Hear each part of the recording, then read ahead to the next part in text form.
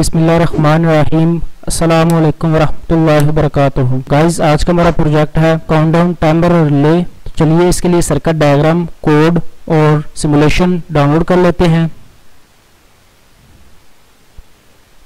तो जिन्होंने अभी तक हमारे चैनल को सब्सक्राइब नहीं किया, पहले सब्सक्राइब कर लें और साथ ही बेल आइकन को भी प्रेस कर दें ताकि लेटेस्ट वीडियो की अपडेट आपको मिलती रहे। तो चलिए फाइल्स डाउनलोड कर लेते हैं। इसका डाउनलोड लिंक आपको नीचे डिस्क्रिप्शन में मिल जाएगा, वहाँ से आप डाउनलोड कर सकते हैं। तो फाइल्स हमारी डाउनलोड हो गई हुई हैं। यहाँ से अपने शो इन फोल्डर कर लेना है। इसके बाद इसको ओपन करना है जिप फ़ाइल को। इसके बाद यहाँ से आपने एक्सट्रैक्ट विदाउट कन्फर्मेशन कर लेना है। इसके बाद यहाँ से अपने डाउनलोड में चले जाना है। इस फोल्डर का नेम चेंज कर लेना है।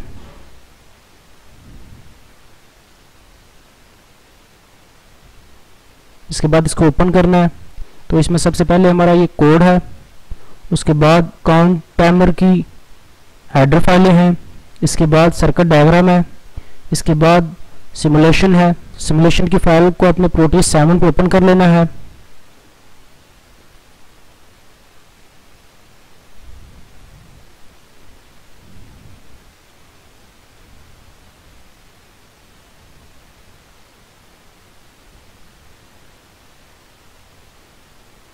इसमें सबसे पहले हमने फोर पुश बटन यूज़ किए हुए हैं।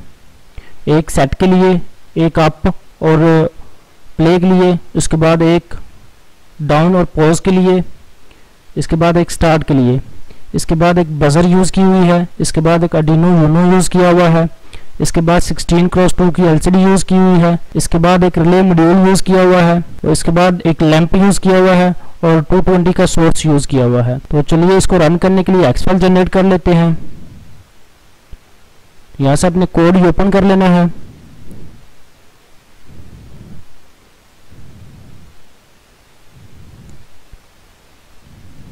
तो जैसे ही आप कोड ओपन करोगे तो इसके साथ कौन टाइमर की हेडर फाइलें भी ओपन हो जाएँगी। तो कोड का ओवरव्यू आपको बाद में देता हूँ। यहाँ से अपने इसको वेरीफाई करना है। डन कंपाइलिंग इसके बाद यहाँ से अपने एक्स फ़ाइल का एड्रेस कॉपी कर लेना है।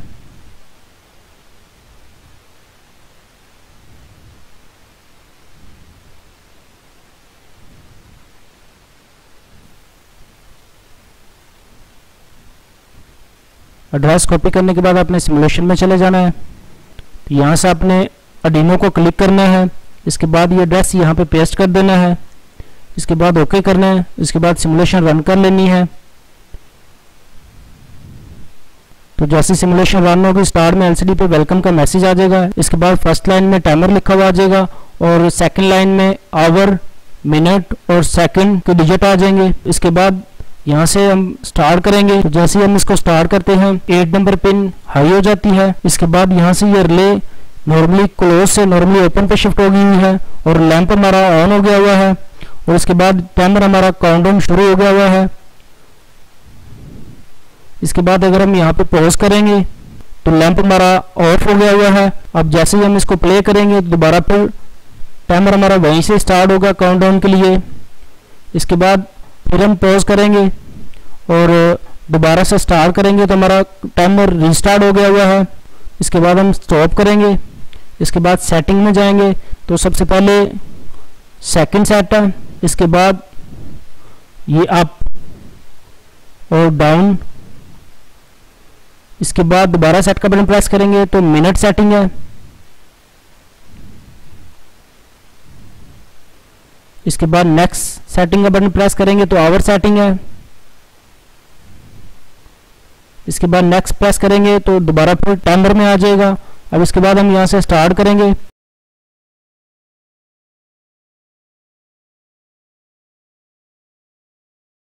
तो ये थी हमारी सिमुलेशन चलिए अब आपको सर्किट डायग्राम का ओवरव्यू देता हूँ।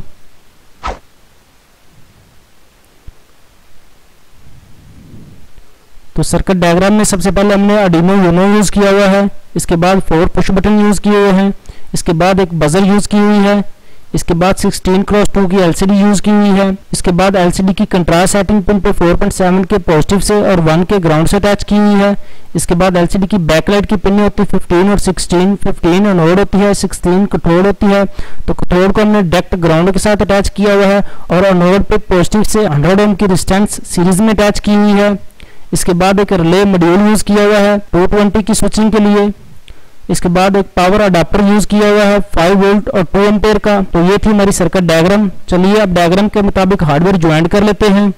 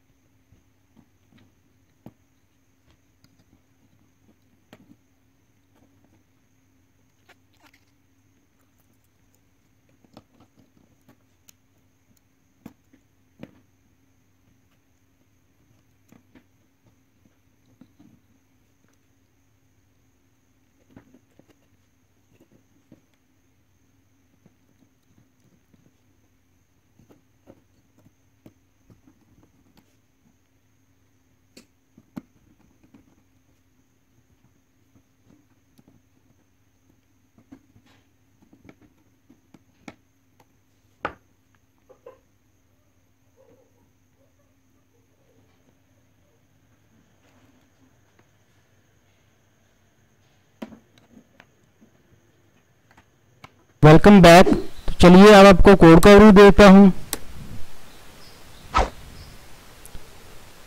कोड में सबसे पहले हमने लिक्विड क्रिस्टल की लाइब्रेरी ऐड की हुई है एलसीडी के लिए। इसके बाद काउंट टाइमर की हेडर फ़ाइल कॉल करवाई हुई है। इसके बाद टी डाउन से वेरिएबल कॉल करवाई हुई है। काउंट टाइमर की हेडर फाइलों में इसके बाद एलसीडी के लिए पिन इनिशलाइज की हुई है। Two three four five six seven इसके बाद ईप्रोम की लाइब्रेरी ऐड की हुई है। इसके बाद फोर पुश बटन यूज़ किए हुए हैं। ए ज़ीरो पे सेट का बटन है। ए वन पे अप का बटन है। ए टू पे डाउन का बटन है और ए थ्री पे स्टार्ट का बटन है। इसके बाद थ्री वेरिएबल इनिशलाइज की हुई है टाइमर एस यानी कि सेकंड के लिए। इसके बाद टाइमर एम मिनट के लिए। टाइमर एच आवर के लिए। इसके बाद सेट की वेरिएबल इनिशलाइज की हुई है। इसके बाद फ्लैग वन फ्लैग टू की वेरिएबल इनिशलाइज की हुई है। इसके बाद रिले के लिए पिन इनिशलाइज की हुई है एट, इसके बाद बजर की पिन इनिशलाइज की हुई है ए फाइव, इसके बाद वर्ड सेटअप है। और वर्ड सेटअप में सबसे पहले सीरियल बोर्ड इनिशलाइज किया हुआ है nine six double zero. Baud rate data rate पर स्पीड होता है। इसके बाद फोर बटनों की पिने इनपुट मोड में इनिशलाइज की हुई है। इसके बाद रिले की पिन आउटपुट मोड में इनिशलाइज की हुई है बजर की पिन भी आउटपुट मोड में इनिशलाइज की हुई है, इसके बाद 16 क्रॉस 2 की एलसीडी इनिशलाइज की हुई है, इसके बाद एलसीडी क्लियर करके फ़र्स्ट मैसेज डिस्प्ले किया हुआ है वेलकम टू काउंटडाउन टाइमर इसके बाद प्रिंट टाइमर इनिशलाइज किया हुआ है 999 मिलीसेकंड का इनिशलाइज किया हुआ है, यानी कि 1000 मिलीसेकंड इसके बाद ईप्रोम रीड का फ़ंक्शन कॉल करवाया हुआ है, इसके बाद 1000 मिलीसेकंड का डिले है, इसके बाद एलसीडी क्लियर करेंगे। इसके बाद वर्ड लूप में चला जाएगा। और यहाँ पर प्रिंट टाइम का फ़ंक्शन है। जैसे ही टाइमर स्टार्ट करेंगे तो 1000 मिलीसेकंड डिले पे ये फ़ंक्शन कॉल होगा। और यहाँ से सेकंड की वेरिएबल में से एक वैल्यू माइनस हो जाएगी। और जैसे ही सेकंड की वेरिएबल ज़ीरो से ड्रॉप होगी तो दोबारा फिर 59 की इक्वल हो जाएगी। और मिनट की वेरिएबल में से एक वैल्यू माइनस कर देगी और जैसे ही मिनट की वेरिएबल ज़ीरो से ड्रॉप होगी तो मिनट की वेरिएबल 59 की इक्वल हो जाएगी और आवर की वेरिएबल में से एक वैल्यू माइनस कर देगी। इसके बाद नीचे जाएँगे। तो वह में सबसे पहले टी डाउन यानी कि टाइमर डाउन रन हो रहा है। इसके बाद डिजिटल रीड हो रहा है। सेट का बटन अगर ज़ीरो के इक्वल होता है तो उस कंडीशन के ऊपर इसने फ्लैग वन और फ्लैग टू को चेक करना है। अगर फ्लैग वन और फ्लैग टू ज़ीरो के इक्वल होंगे तो उस कंडीशन के ऊपर इसने फ्लैग वन को वन के इक्वल कर देना है और सेट की वेरिएबल में एक वैल्यू ऐड कर देनी है। जैसे हम इसको फोर टाइम प्रेस करेंगे सेट की वेरिएबल थ्री से ओवर जाएगी तो दोबारा फिर ज़ीरो हो जाएगी। इसके बाद यहाँ पर हम जो फ्लैग वन की वेरिएबल वन करवा रहे हैं तो जैसे हम इस सेट के पुश बटन को प्रेस किया तो सेट की वेरिएबल में वन वैल्यू ऐड करें, उससे ज़्यादा ना करें। जब हम दोबारा फिर उसको अनक्लिक करके क्लिक करें तो फिर दोबारा एक वैल्यू ऐड करें। इसके बाद डिजिटल रीड हो रहा है, आपका बटन जैसे ही आपका बटन ज़ीरो के इक्वल होगा तो यहाँ पर हमने चेक लगाया, अगर सेट की वेरिएबल ज़ीरो के इक्वल है तो इसने टाइमर को स्टार्ट करना है, और फ्लैग टू को वन के इक्वल कर देगा। यहाँ पर हमने फ्लैग टू को रीड किया हुआ है, अगर तो हमारा टाइम स्टार्ट हुआ है तो उस कंडीशन के ऊपर इसने सेटिंग मोड में नहीं जाना और यहाँ पर फ्लैग टू को हम वन करवा रहे होते हैं। इसके बाद अगर सेट की वेरिएबल वन की इक्वल है तो उस कंडीशन के ऊपर इसने सेकंड की वेरिएबल को प्लस करना है। अगर सेट की वेरिएबल टू की इक्वल है तो इसने मिनट की वेरिएबल को प्लस करना है। अगर सेट की वेरिएबल थ्री की इक्वल है तो इसने आवर की वेरिएबल को प्लस करना है। इसके बाद अगर सेकंड की वेरिएबल 59 से ओवर जाएगी तो इसने ज़ीरो कर देना है। अगर मिनट की वेरिएबल 59 से ओवर जाएगी तब भी ज़ीरो हो जाएगी। इसके बाद अगर आवर की वेरिएबल 99 से ओवर जाएगी तो इसने ज़ीरो कर देना है। यानी कि हमारा मैक्सिमम टाइमर 99 आवर 59 मिनट और 59 सेकंड का है। इसके बाद अगर सेट की वेरिएबल ज़ीरो से ओवर है तो इसने ईप्रोम राइट करवानी है। यानी कि अगर हम सेटिंग मोड में गए हुए हैं तो उस कंडीशन के ऊपर इसने ईप्रोम राइट करवानी है। नहीं तो ये सिंपल बटन के ऊपर टाइमर प्ले करेगा और डाउन के बटन से पॉज होगा। और यहाँ पर हमने 200 मिलीसेकंड का डिले दिया हुआ है। अगर हम बट के बटन को प्रेस करेंगे तो 200 मिलीसेकंड डिले के बाद इसने नेक्स्ट पल्स ऐड करनी है। यहाँ पर हमने इसको वन क्लिक नहीं रखा हुआ है। इसके बाद डिजिटल रीड हो रहा है, डाउन का बटन जैसे ही ज़ीरो के इक्वल होगा तो यहाँ पर चेक लगाया हुआ है, अगर सेट की वेरिएबल ज़ीरो के इक्वल है तो इसने टाइमर को स्टॉप कर देना है और फ्लैग की वेरिएबल को ज़ीरो कर देगा। इसके बाद अगर सेट की वेरिएबल वन के इक्वल है तो सेकंड की वेरिएबल माइनस होगी। इसके बाद अगर सेट की वेरिएबल टू के इक्वल है, मिनट की वेरिएबल माइनस होगी। इसके बाद अगर सेट की वेरिएबल थ्री के इक्वल है तो आवर की वेरिएबल माइनस होगी। इसके बाद अगर सेकंड की वेरिएबल ज़ीरो से ड्रॉप होगी हुई है तो उस कंडीशन के ऊपर सेकंड की वेरिएबल 59 की इक्वल हो जाएगी। इसके बाद अगर मिनट की वेरिएबल ज़ीरो से ड्रॉप होगी तो उस कंडीशन के ऊपर ये भी 59 की इक्वल हो जाएगी। इसके बाद अगर आवर की वेरिएबल ज़ीरो से ड्रॉप हुई है तो 99 की इक्वल हो जाएगी। इसके बाद यहाँ पर भी हमने चेक लगाया हुआ है अगर सेट की वेरिएबल ज़ीरो से ओवर है तो इसने ईप्रोम राइट करवानी है। इसके बाद 200 मिलीसेकंड डिले पर माइनस करता रहेगा। इसके बाद यहाँ पर डिजिटल रीड हो रहा है स्टार्ट का बटन अगर ज़ीरो के इक्वल होता है तो इसने फ्लैग टू की वेरिएबल को वन के इक्वल कर देना है। यानी कि टाइमर हमारा स्टार्ट हो गया हुआ है। इसके बाद ई प्रोम रीड करनी है। इसके बाद रिले की पिन हाई कर देनी है। इसके बाद टाइमर भी रीसेट करेगा और उसके बाद स्टार्ट कर देगा। तो आपके बटन से हम सिंपल टाइमर स्टार्ट करवा रहे हैं। और स्टार्ट के बटन से हम ई प्रोम से डाटा रीड कर रहे हैं। यानी कि टाइमर को हम रीस्टार्ट कर रहे हैं। और इसके बाद टाइमर को स्टार्ट करवा रहे हैं।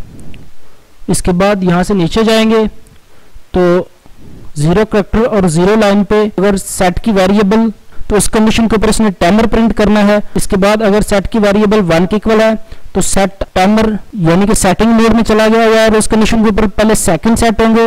इसके बाद अगर सेट की वेरिएबल टू के इक्वल है तो इसने एम एम डिस्प्ले करना है, यानी कि मिनट सेटिंग इसके बाद अगर सेट की वेरिएबल थ्री की इक्वल है तो इसने एच एच डिस्प्ले करना है, यानी कि आवर सेटिंग इसके बाद